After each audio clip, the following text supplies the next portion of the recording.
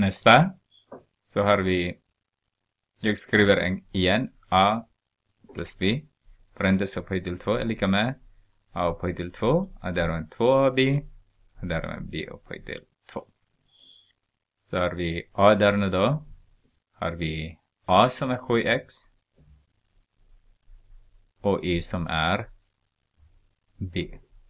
Så har vi a upphöjt till 2, så 7x, parentes upphöjt till 2, och därmed 2 multiplicerar med a som är 7x multiplicerar med b som är I, och därmed I upphöjt till 2.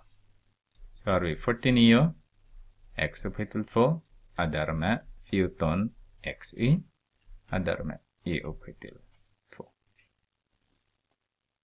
b så har vi 8, därmed 3x parentes upphöjt till 2. Vårt a är 8, b är 3x.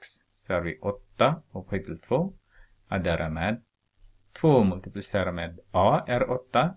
Multiplicerar med 3x som är vårt b plus 3x upphöjt till 2. Då har vi 64 adderar med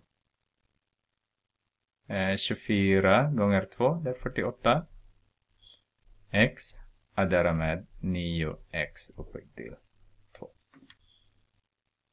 Tar vi b, är c menade jag. Så vårt a är 2x, vårt b är 3i.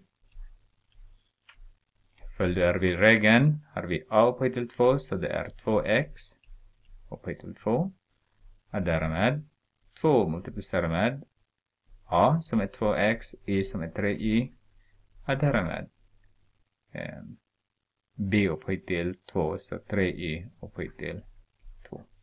Så har jag 4x upphöjt till 2, och därmed 12xi, och därmed 9i upphöjt till 2.